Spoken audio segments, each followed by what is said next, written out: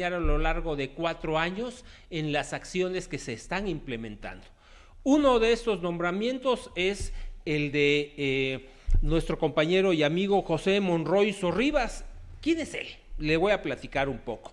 Él ha sido coconductor del programa Frente a Frente en Grupo Telefórmula, comentarista en, Frente a Frente, colaborador en TV Mexiquense, colaborador en Televisión Educativa, en ABC Radio y vicepresidente nacional de la Academia Nacional de Periodistas de Radio y Televisión para el periodo 2016-2020. Le agradezco mucho al licenciado José Monroy Sorribas el que me tome la llamada. Muy buenas tardes, José, ¿cómo has estado?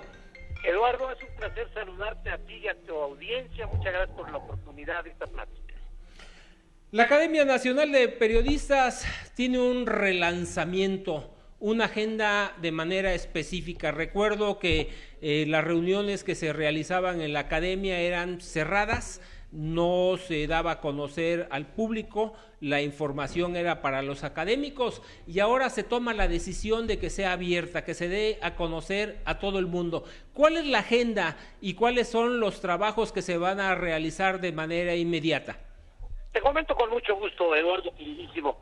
Carlos Ramos Padilla preside la cuarta generación desde que Enrique Lascano funda la academia, después la preside Polo Mendívil, por último Vladimir Galeana y ya, como tú lo apuntas, con un voto prácticamente mayoritario, unánime, Carlos Ramos Padilla, periodista de toda la vida por los cuatro costados, tendrá la encomienda de ser presidente de este grupo.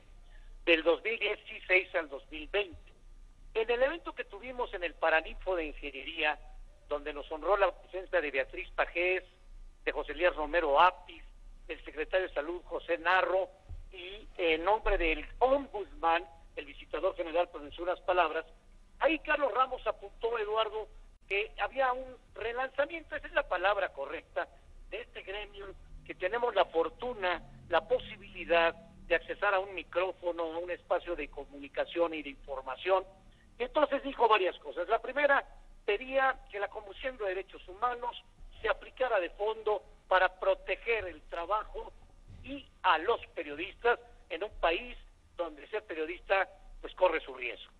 Ah, llamó a la unidad en un contexto del país donde el periodismo juega un papel fundamental, objetivo, certero, preciso, marcando posición como líderes de opinión. Y entre otras muchas cosas, pues desde luego la apertura de estas reuniones que son espléndidas, en donde se invita líderes de opinión del ámbito académico, político, empresarial, social, etcétera, y que pueden ser difundidas por todos nuestros compañeros periodistas. También habló de un programa muy ambicioso en donde entraremos en los aspectos tecnológicos, al tema de las redes, etcétera. Pero, Eduardo, te diría yo que la academia por sí está compuesta de gente muy talentosa, mujeres y hombres, pues, que se han dedicado prácticamente a esta extraordinaria labor de comunicar, entre ellos tú, como un académico notable, que desde luego tenemos claro por dónde va. No importa de qué tamaño sean nuestros espacios, no importa qué calibre tengamos en la calificación de nuestros auditorios que nos escuchan. El tema es que ante un país como este, Eduardo, en momentos de tanta efervescencia, conviene que los periodistas, los comunicadores, podamos asumir cada quien en su trinchera un espacio de compromiso para que el periodismo sea esa labor de información objetiva y también para marcar posiciones, Eduardo querido. Carlos Ramos Padilla, en el discurso que tuvo el día 13 ahí en Palacio de Minería, destacó que los periodistas no nos vamos a dejar pisotear y que unidos en una sola voz haremos la defensa de este México ante los acontecimientos que estamos viviendo. ¿De qué manera se va a realizar estas acciones, eh, José? Eh, cuéntanos un poco. Bueno, primero debo decirte que hay ya prácticamente un programa inicial de actividades. Vamos a iniciar ya en breve un foro en donde la academia convoca para la posibilidad de discutir a propósito del lamentabilísimo acontecimiento de la escuela de Monterrey, este tema polémico, si deben o no armarse los, los ciudadanos.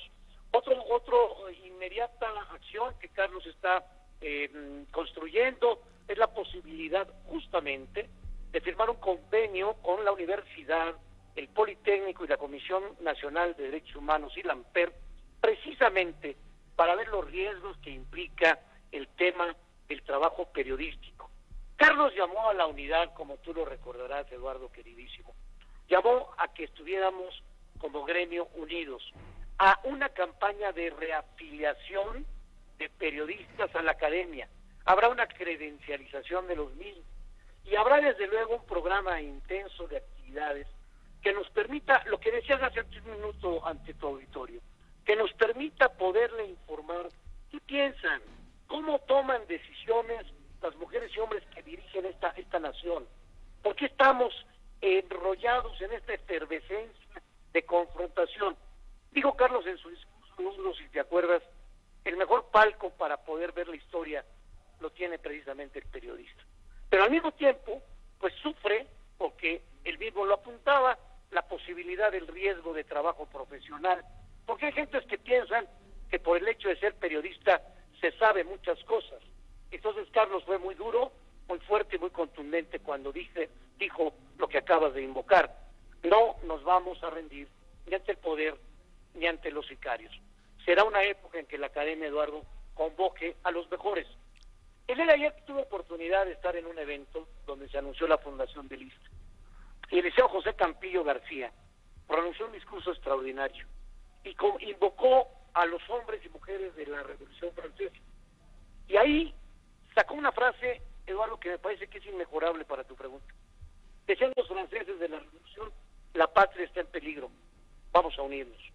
Se unieron y aquel que dijo después de mí el diluvio, pues después de él pasaron los grandes derechos universales del género humano y al mismo tiempo de la efervescencia, Eduardo, Campillo García refirió, se empezaba la construcción del Museo del Louvre. Es decir, creo que nosotros tenemos un compromiso serio, profundo, significativo, de no quedarnos a la saga. Y entonces, la idea es la unidad, pero la unidad de todos, con respecto a nuestros puntos de vista, a nuestra estrategia periodística, a la forma de editorializar, de escribir, de comentar, de dirigir los noticiarios. Vengo de estar con Enrique Lascano, por encomienda de nuestro presidente Carlos Ramos, y coincide en que es el momento mejor para que los periodistas puedan dar cuenta de lo que sucede, pero además también tener el blindaje para una actividad que tiene un riesgo alto y está comprobado. José Monroy Sorribas, en la Ciudad de México hay una ley de la defensa de los derechos de los periodistas que fue hecha sin lugar a dudas por personas que no son periodistas y en ella se establece que los periodistas son aquellas que comunican y hemos encontrado que hay muchísimas personas que comunican falsedades, mentiras, desinforman. ¿Cuál es el tamiz que va a aplicar la Academia Nacional de Periodistas de Radio y Televisión para evitar que se siga eh, denigrando la labor de tantos y tantos buenos periodistas comprometidos con la verdad y con la objetividad?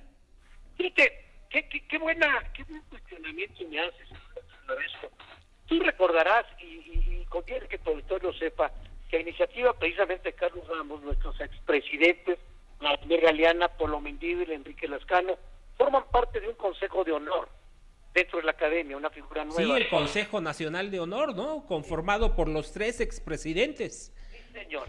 Y ellos tendrán, entre otras muchas cosas, la labor de poder eh, reconocer, honrar, premiar, estimular, con su defecto amonestar, aquellos miembros de la academia que infrinjan un principio ético elemental que lo acabas de describir. No vale confundir a los periodistas con responsabilidad, con seriedad, que entregan parte de su talento, de su vida, que inclusive viven de ello, con quienes por azares del destino tienen acceso a espacios informativos y que, como tú dices bien, Eduardo, no solamente no informan, malinforman o desinforman, sin ética, sin principios, al mejor postor, como mercaderes de la noticia. la academia es un espacio de gente honorable que tiene la verdad, se respira ese sentido nacionalista, pero del bueno, un sentido patriótico, pero del bueno, queremos que le vaya bien a México, Eduardo, lo hemos dicho muchas veces. Queremos que le vaya bien a nuestros hijos y a nosotros. Y ahí quienes dan cuenta, pues somos justamente los informadores y los comunicadores. Como tú dices, yo creo que esta bocanada de aire fresco para la Academia Nacional de Periodistas de Radio y de Televisión implicar también revisar, y a eso se comprometió el presidente Ramos Padilla, revisar nuestros estatutos para tener claro cuáles son los valores de aquellos que quieran ser académicos y unirse en este gremio con una tabla clara de cuál es la frontera que no se puede ni se debe de brincar. No se puede hacer apología del crimen, Eduardo. No se puede hacer apología de la violencia. No se pueden pasar las escenas no por cubrir las notas, sino porque sucede que parecería ser que son panegíricos alrededor de los delincuentes. Cuando tenemos tantas cosas que informar, incluso de acontecimientos tan atroces como los que hemos visto los últimos días, pero con un enfoque de periodismo responsable, no amarillista, no al mejor postor. Por eso digo que sí es un nuevo momento, déjame decirlo, página en blanco, como para que quienes creemos en la comunicación podamos realmente darle un impulso y ayudar desde nuestra trinchera a nuestro país, Eduardo querido. Fíjate que recuerdo en ese momento palabras del de, eh, maestro Jacobo Saludowski Kramsky, también miembro fundador de la Academia Nacional de Periodistas de Radio y Televisión, donde decía que el oficio del periodista era el compromiso con la verdad, la reiteración de la verdad y la confirmación de esa verdad. Estamos llevando en la academia a niveles de profesionalización. Ya en la actualidad el periodista es egresado de universidades con una cédula emitida por la Secretaría de Educación Pública como una profesión. ¿Qué está haciendo y qué va a hacer la academia en este sentido? ¿Hasta dónde vamos a llevar a los periodistas? Fíjate que lo anotó también Carlos en su discurso. Seguir trabajando en el sentido de que se entienda que no se puede ser este periodista por accidente, ni porque yo creo, me late o presiento. Ya advierte esta profesión, este oficio en el mejor de los sentidos, oficio con O mayúscula, esta profesión advierte, Eduardo, preparación sistemática, académica, por ello, el impulso de la gestión pasada para que se abriera esta posibilidad curricular y académica para estar mejor preparados, para tener mejores herramientas a la hora de que tienes ya un espacio de comunicación.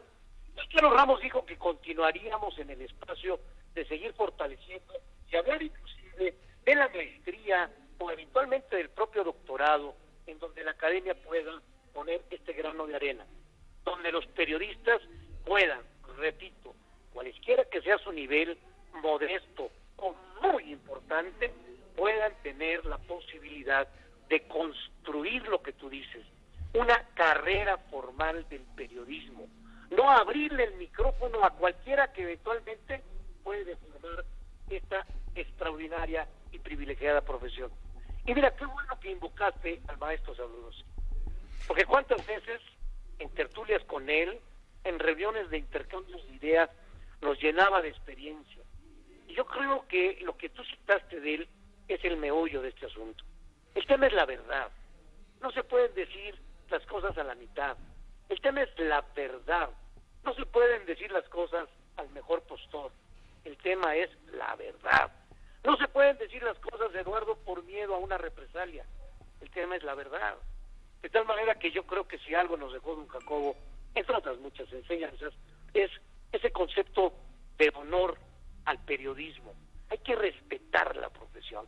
Y por lo tanto, ahí también está puesto el ojo de la nueva directiva para seguir impulsando el desarrollo profesional de las personas que se quieren dedicar a la información y a la comunicación. Los valores morales y éticos que sin lugar a dudas eh, prevalecen en esta Academia Nacional de Periodistas de Radio y Televisión se han llevado a estos márgenes de concluir maestrías. Tengo entendido que el IMCA ya concluye la primer generación de maestros en pedagogía de la Academia Nacional de Periodistas de Radio y Televisión. Pedagogía que sin lugar a dudas es la forma de aprender a comunicar. Eh, en la Academia Nacional de Periodistas de Radio y Televisión, José Monroy Sorribas, ¿se va a seguir impulsando las maestrías, los doctorados?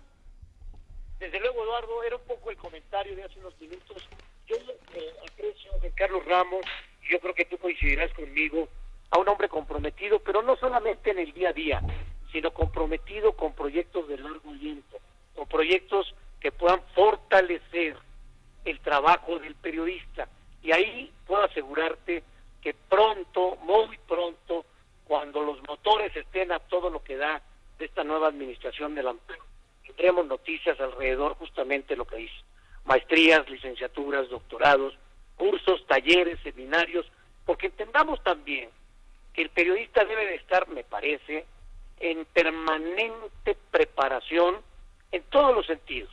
Solo el puro ejemplo, Eduardo querido, de las nuevas tecnologías nos obligan, como tú mismo lo estás haciendo en este momento, a usar el Internet, las redes sociales, y estas también advierten otro modo de comunicar, otra manera de expresar, otra forma de frasear las cosas, otro modo de usar el lenguaje, un lenguaje por cierto rico, como pocos en el planeta. Entonces, me parece que los retos de nuestro trabajo son muchos y deben descansar en quitar el sentido empírico. No se trata de que de un día para otro alguien amanezca y diga, yo ya siento que soy periodista, o que soy comunicador, o que soy informador.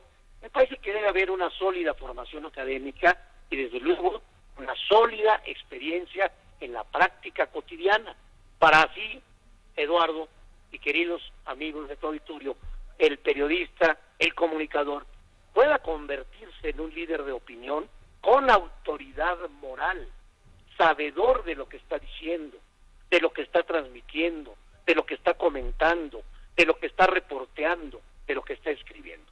Así que no tengo la menor duda que también en ese renglón habrá un impulso vigorizado en esta nueva directiva.